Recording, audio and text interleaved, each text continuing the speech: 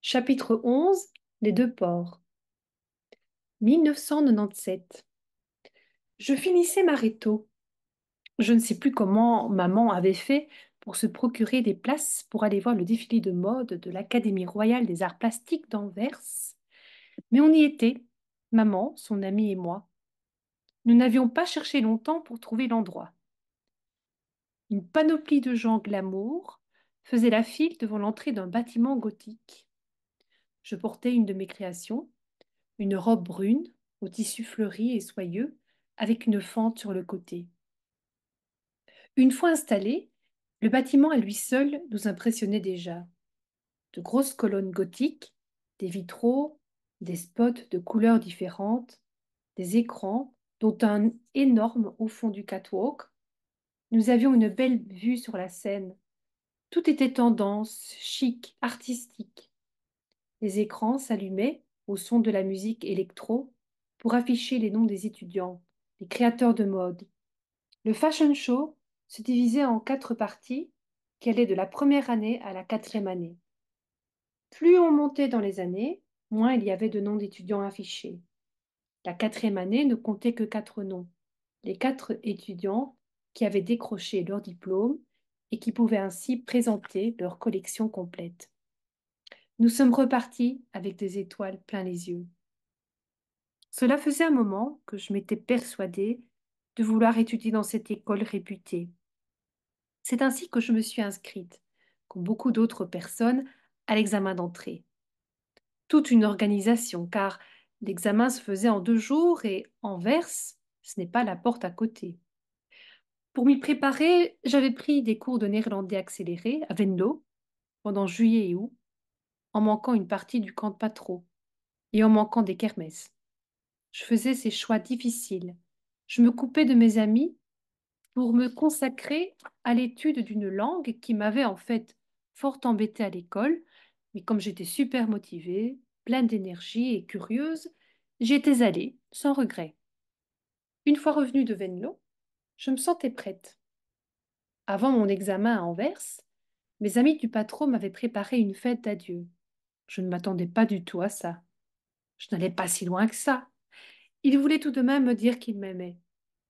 Il m'avait acheté une petite décoration en forme de fleurs, que j'ai d'ailleurs toujours, et m'avait dit Ainsi, tu ne nous oublieras pas. Non, je ne vous ai pas oublié. Toute une organisation, donc, ces deux jours d'examen d'entrée à Anvers. J'avais quitté le hameau dans l'après-midi et j'étais chargée. J'avais pris ma grande fard de dessin et tout mon matériel de dessin et de peinture, mes vêtements de rechange, mes affaires de toilette. Mes parents m'avaient donné de l'argent, plus ou moins deux mille francs, pour me loger. J'avais pris le train toute seule. Arrivée à Anvers, j'ai cherché un hôtel. Il y en avait plusieurs près de la gare. C'était la première fois que je restais seule à l'hôtel. Je n'étais pas très à l'aise. Il y en avait un avec un nom américain, genre Hôtel Hollywood ou Hôtel Los Angeles, et comme il avait l'air OK, j'ai décidé d'y aller.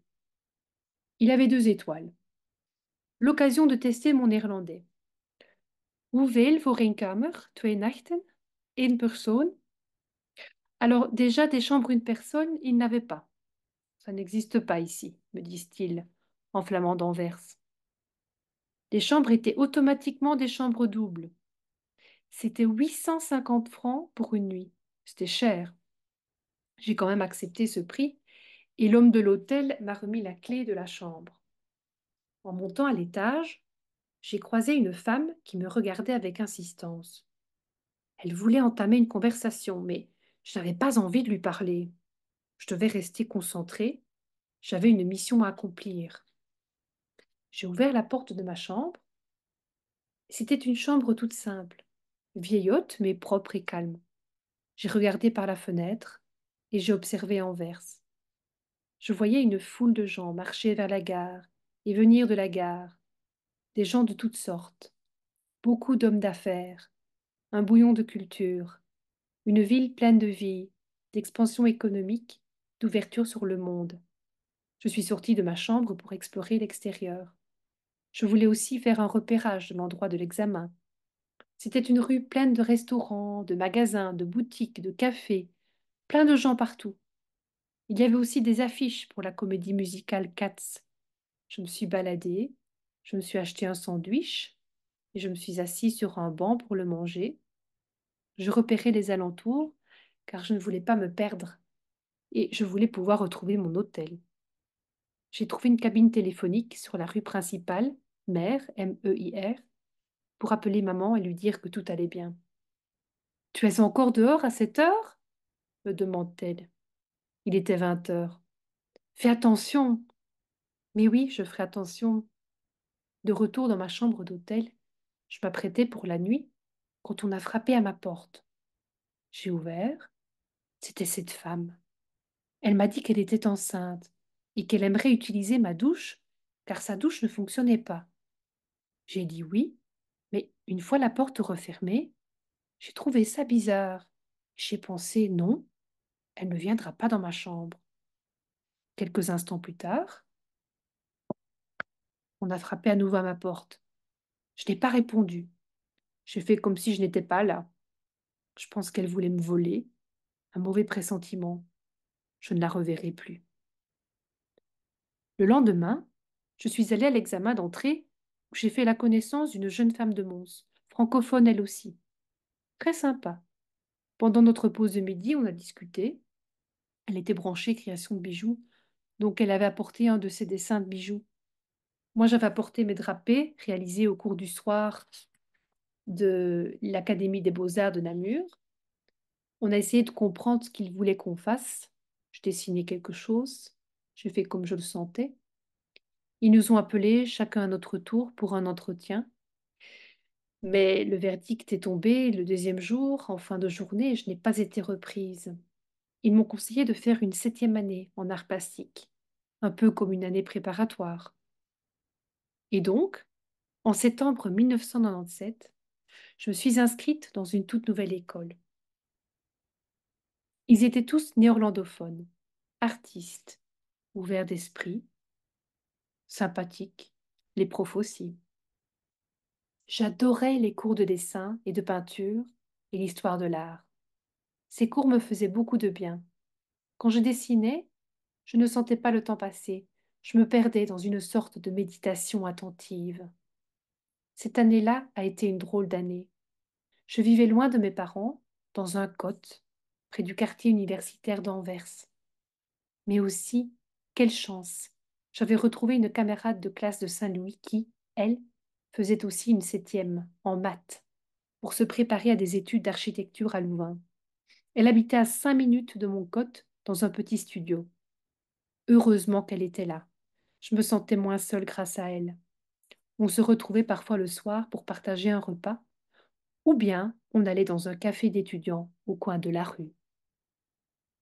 Un soir d'octobre, dans ce petit café estudantin de la Wekestraat d'Anvers, où on buvait des blanches, de prof, c'était le nom du café, j'ai rencontré Ray, un jeune homme d'Ilversum.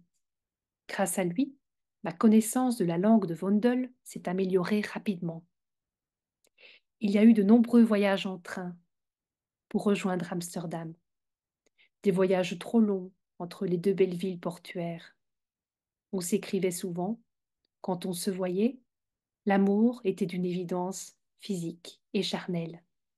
Mais la distance a eu raison de notre idylle, et en juillet 1998, adieu Ray. Mais aussi, adieu l'école de mode d'Anvers, car bien qu'ayant obtenu une distinction à mon année préparatoire, j'avais encore foiré l'examen d'entrée pour l'académie.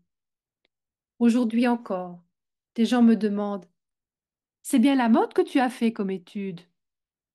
La prochaine fois qu'on me le demande, je dirai que oui, et j'inventerai quelque chose.